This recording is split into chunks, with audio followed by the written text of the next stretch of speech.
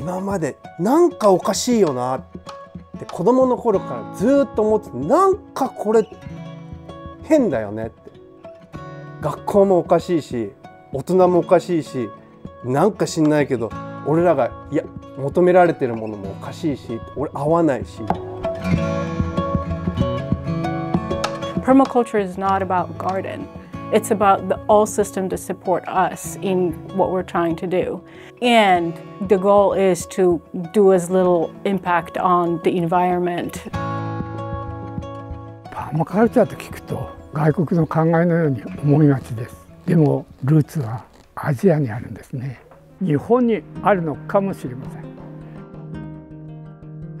自然界がうちらに見せてくれてるのは反対で協力し合うことでも養生は生み出されてそれを惜しみなく周りの人たちと分かち合ってるよという。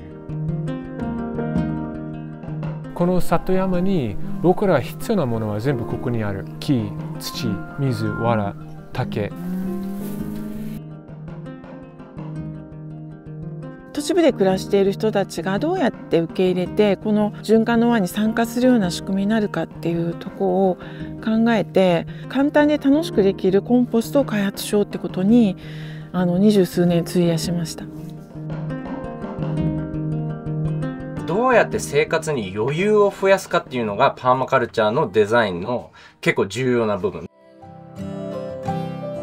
都会の町の里山みたいなものが街路樹とかでできるようになってきたら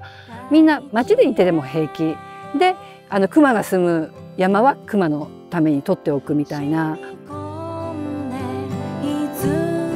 We have all the technology to live green and regenerate the earth. We just have to implement. There's no new technology that we need. We already have it all. Okay?